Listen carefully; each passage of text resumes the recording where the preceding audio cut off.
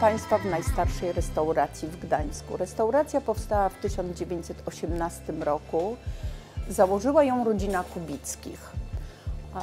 Od e, 2010 roku przeszła w nasze ręce i zapraszamy Państwa już do nowych, odnowionych wnętrz, e, po renowacji restauracji. Restauracja oferuje miłą atmosferę i pyszną kuchnię, o czym opowie Państwu szef kuchni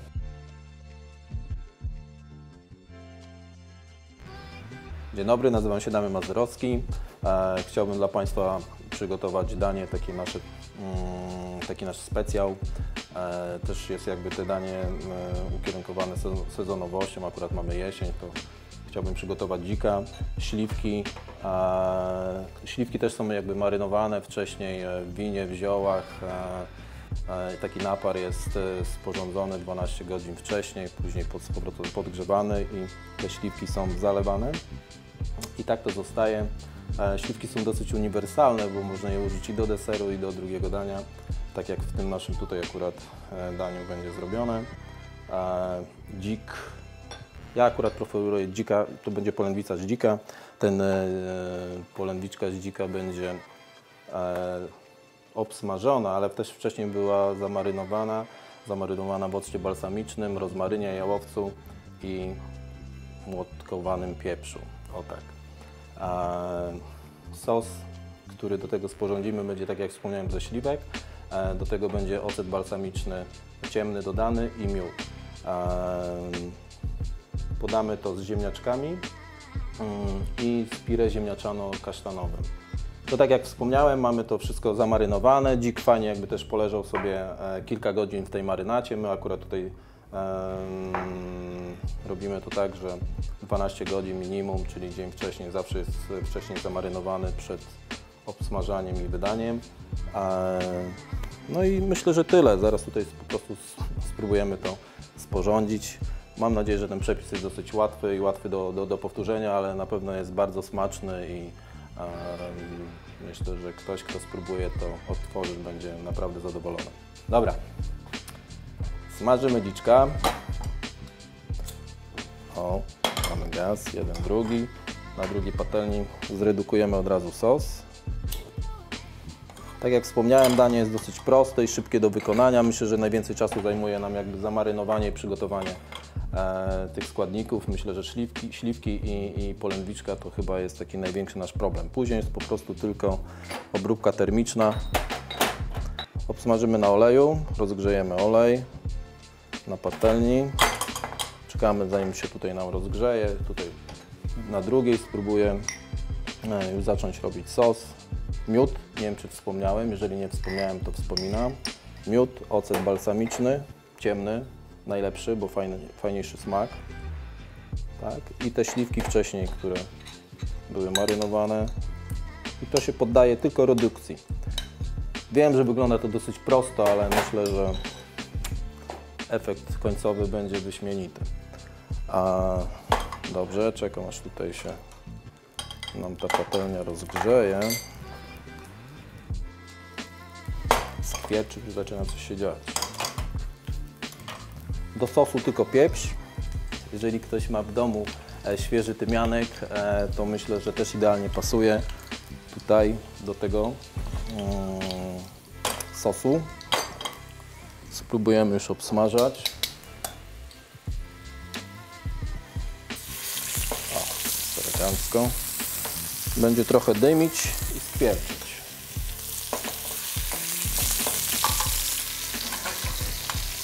Z sosem trzeba uważać, e, żeby za długo go nie mm, gotować, żeby za bardzo się nie, za bardzo się nie skarmelizował.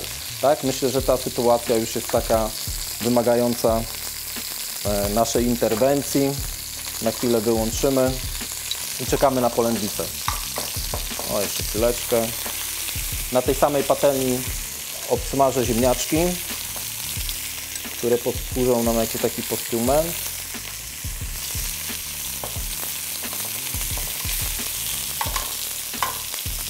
Staramy się pracować na, na składnikach e, tak w miarę regionalnych. Oczywiście wiadomo, że to nie jest w 100% możliwe do osiągnięcia, ale myślę, że mamy dużą bazę e, fajnych, fajnych tutaj dostawców e, roślin, e, takich doniczkowych, mm, które stały się bardzo modne i ciekawe do wykończenia dania. Już nie wspominam jakby o smaku. Miody e, też tutaj e, z naszych regionów. Mamy też sporo pasiek. Przyznam się szczerze, że sam wchodzę w ten świat. Dziadek mój ma od 80 lat pasieki i teraz powoli, powoli mnie to wszystko wciąga.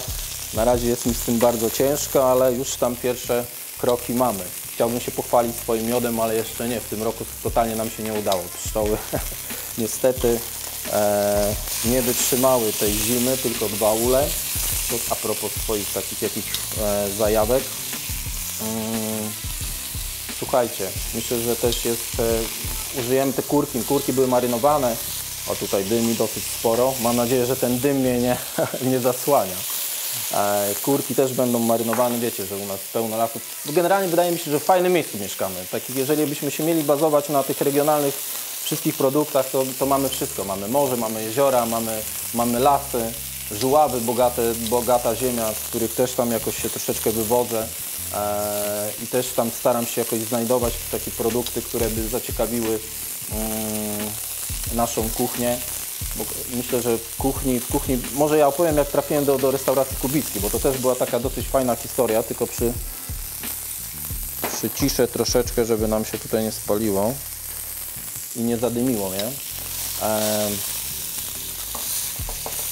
Restauracja Kubicki jakby ma taki charakter typowo polski, tak, tak jak pewnie już tam było wspomniane, że to jest najstarsza restauracja w Gdańsku, ale to też mnie to zaciekawiło. Ja zawsze chciałem robić kuchnię polską i taką staropolską i e, chciałbym znaleźć kuchnię starogdańską, ale to takie jest troszeczkę myślę, że naciągane.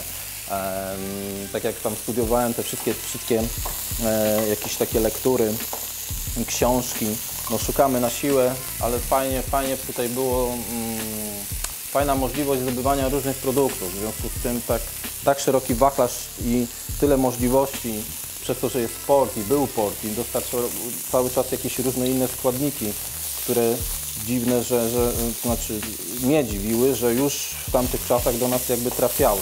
W związku z tym tutaj naprawdę można było wiele, wiele rzeczy robić fajnych, ciekawych i, i smacznych do tego wszystkiego. Dzik nam dochodzi pomalutku. E, ziemniaczki też się podsmażają.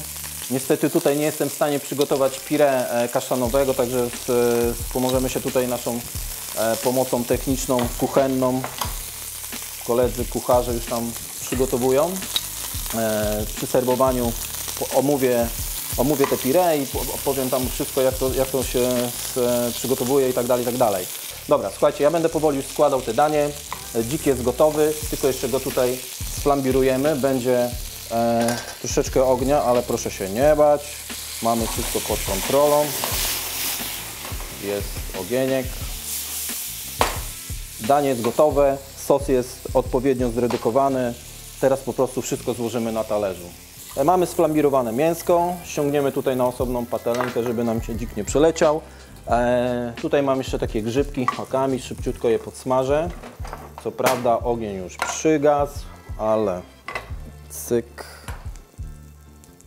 Ojej, ojej. Jest. Dobra. To też z lewej, lewa, prawa.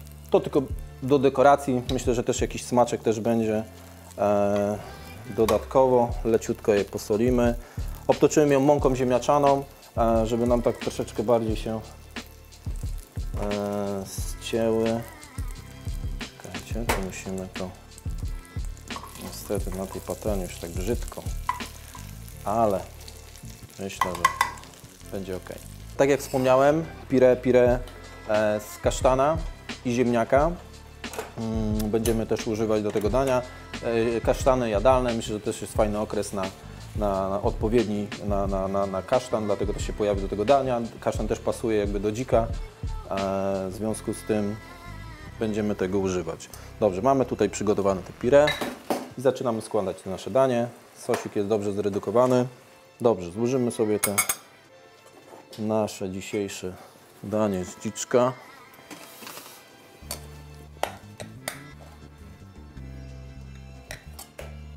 Na spód naszego ringa pire, więc tutaj się ciężko nam a sosik.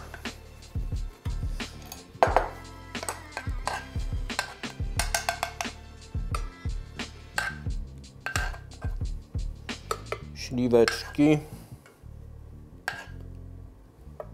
Teraz tak powinienem powiedzieć, jak w tych wszystkich programach gastronomicznych. Czujecie ten zapach, ten aromat, jak to pięknie pachnie, jak to czu czuć to czuć? Czy to czuć, czy nie czuć? Oto jest pytanie. Myślę, że, że nie czuć. A szkoda, bo to jest największy jakiś atut tego, tego sosu. Dobra, sosu nigdy nie żałuję. O, tutaj postaram się w jednym miejscu to przeciąć. Dzika smażymy tak na czerwono. Generalnie dziczyzny totalnie nie powinniśmy przysmażać, bo, bo, bo, bo, bo wtedy to, to nie smakuje. Czasami jak się przesmaży, to wręcz jakąś wątróbką to wszystko tak troszeczkę podchodzi. Ja lubię też dziczyznę przemrożoną, bo to też jest takie dosyć ciekawe. Tak to zrobimy, trochę większą porcję niż zakładałem. Dzipki mi się tutaj, tutaj troszeczkę do smaku i do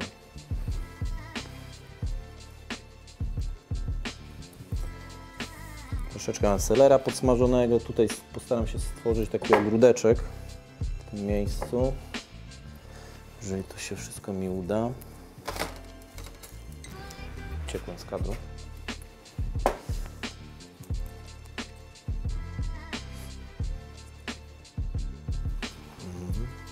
Masturcja. O, jedna uciekła, nie chciała tu być z nami. Nie wiem, jakieś zioło, ale jest, to damy, nie? O. Coś tutaj jest takiego ciekawego. Cholipka. I jeszcze kasza gryczana, podsmażona, że będzie fajnie chrupać. Coś mi tu uciekło, słuchajcie. Jeszcze groszyk szczepny, o. I jeszcze buraczek marynowany, słuchajcie. Taki mini. Tutaj też powkładamy. Coś mi tu brakowało takiego czerwonego i tak mówię, ach, nie dość, że burak pasuje do, do dziczyzny, może jeszcze kawałek. Już nie będziemy ża dawać żadnych dodatków. Troszeczkę wszystko na jednej desce, ale to ze, ze względu na to, że mamy taki, takie warunki polowe dzisiaj. Ok, kończę. E, myślę, że e, to jest naprawdę bardzo fajne danie i dosyć proste w wykonaniu i gwarantuję, że jest mega smaczne. Dziękuję serdecznie.